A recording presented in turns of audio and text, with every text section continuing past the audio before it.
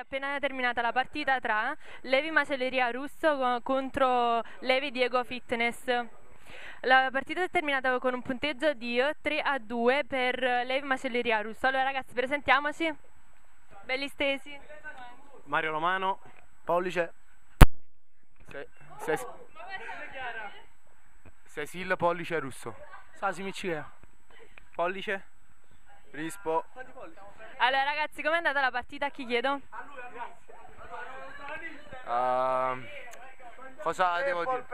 Ah, oh, no, fammi parlare. Allora, gli avversari modestamente erano molto forti. Cioè, perché gioco, gioco anche io in quella squadra. Eh, eh, veramente, come sempre vince. Oh, mi facete parlare? Oh, come sempre vince il gruppo. E niente, complimenti solo agli avversari.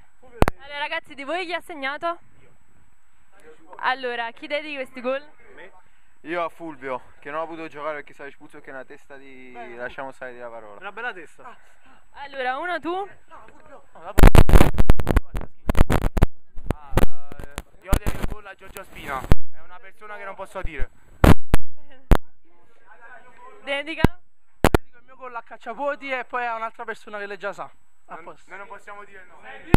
Ma troppi segreti. Fontana sul campo, Mariano Fontana sul campo. Che... La prossima volta lo partiamo. Mario, Mario. Il mio gol, comunque, il vero gol mio lo dedico a Lorenzo, a Lorenzo, a Lorenzo Picarelli, che come sempre è il mio BBH. Nonostante tutto. Giussi Russo, supporter ufficiale della squadra Levi Macelleria Russo. Acce- accendiamo la macelleria russo. Vai, dici. Allora, ancora una volta, non per fare pubblicità, però mangiate la carne da Ciro Russo, vedete? A- dopo Piazza Gravina, la carne migliore di Portici. Va bene? Noi siamo contro i tumori, la macelleria russo è contro i tumori. Va bene. Grazie mille, un bacio alla.